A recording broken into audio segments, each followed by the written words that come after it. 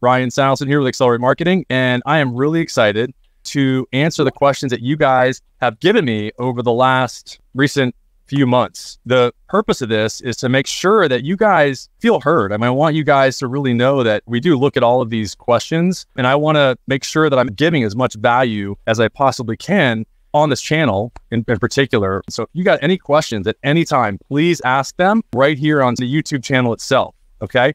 Let's go with the first question. The first question comes from Addict Care Marketing. We are a home services business and we have three locations. Each has their own verified Google My Business, which by the way, he's he's saying GMB, but really it's now it's Google Business Profile, otherwise known as Google Maps to keep it simple. With many reviews, he says, what is the best way to set up the LSA or local service ads for each location? Great question. Okay. A lot of business owners have multiple locations. And so the best way to do this is to actually set up a Google business profile page for each one of those locations. Okay. Set up a Google business profile page or Google My Business page for each one of those locations, and then create a separate LSA or local service ads page for each one of those Google business profile pages. Okay. So you connect them together, and that way the reviews are shared. And you want to do this as long as those locations are at least 30 miles apart. I'll repeat that. So you want to make sure that each location is at least 30 miles apart. Why do you want to do that? Because if the locations are 30 miles apart, then you're not going to be cannibalizing the leads that you're going to be getting from one location versus another. Just like if you're fishing and you've got a lot of people on a boat and you've got a bunch of people with fishing poles right next to each other, most likely you're not going to really catch more fish by having those poles right next to each other. Whereas if you went on the other side of the boat 30 miles away, at least, then you're most likely going to be able to get more leads. So I'm going to encourage you guys to really think about this. Okay, so what's the next question? What's better, two LSAs with reviews every two weeks or one LSA with weekly reviews? Great question. It would really be the one LSA with weekly reviews. We want to make sure that we are getting reviews on a consistent basis, okay?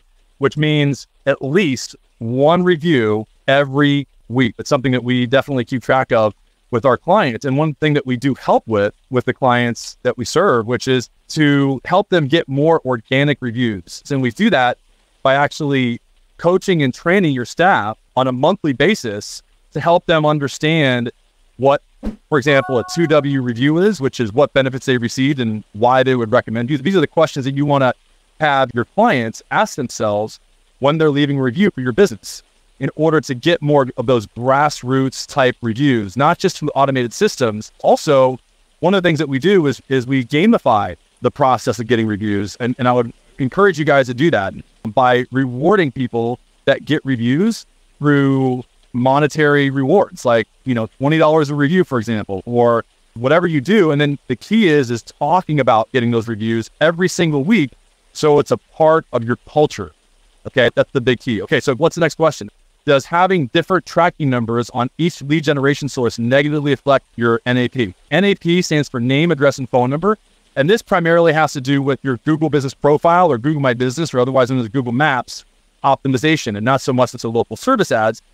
And we've found that having different tracking numbers does not affect actually at all the name, address, and phone number criteria that Google has. And here's why because you can add an additional number in the back office of your Google Business Profile account that Google can then see as being an additional number. You can make that a tracking phone number. Years ago, they didn't have this option. Okay. And I highly recommend that whether you use us or anybody else, that you do set up a call tracking system for all the reasons that I talk about in my other video, which is for the 20 second delay so that you can have, you know, somebody answer your phone calls outside of your intake team for the call flow so that you can have certain people answer the phone from nine to five and then other people from five to nine or on the weekends so that you can be open 24 hours and seven days a week and so that you can get more leads from your local service ads page. And then the third is so that you can actually have what's called sign you call where you call as many numbers as you want at the same time. Okay.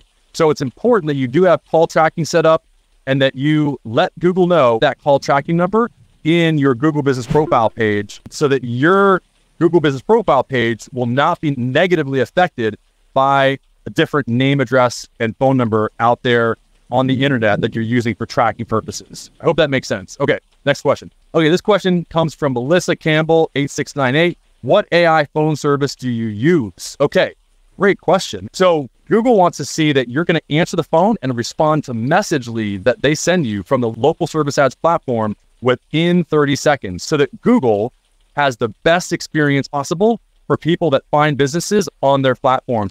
And we set out very long ago to find out what we could do to help businesses have the best and fastest response rate. In, in, other words, phone calls that are answered in less than 30 seconds every single time. In the beginning, we recommended call services. And what we found is that those call services, about 30% of the time or more, those calls are sent to a music hold. And what happens is Google counts those calls as being missed. And that counts against your account. And therefore, you get fewer leads. So we developed our own AI agent to answer and respond to both voice calls from LSA and any other platforms that you have. Uh, we can actually even have an agent answer a separate way for calls that come in through your Google PPC or your Facebook ads or your local service ads platform, etc. And the other thing that we can do is have it respond to your message leads as well. It's very difficult to actually respond to message leads that come through the LSA platform. And we've cracked the code on how to do that, which is very important because message leads are very tightly tied with your overall lead volume increase that you might get from your account in terms of both voice and message. So I hope that makes sense. And we'll go to the next question.